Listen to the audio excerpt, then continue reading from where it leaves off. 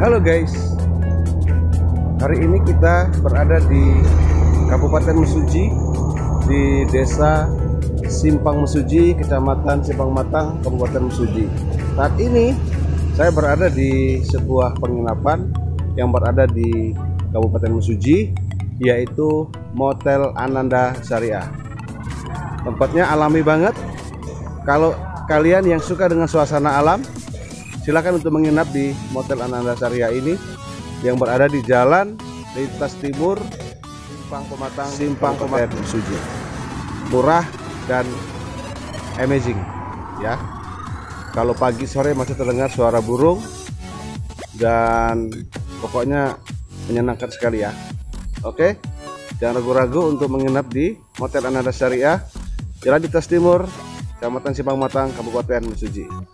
Syariah Pedro